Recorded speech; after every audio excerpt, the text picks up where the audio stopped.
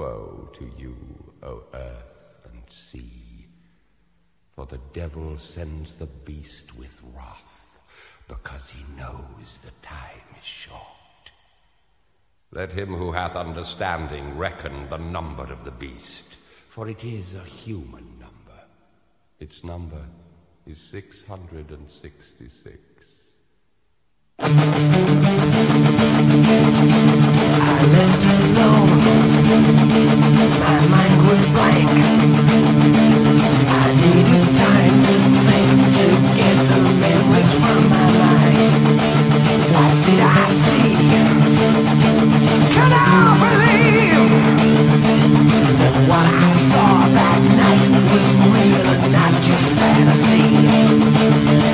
what I saw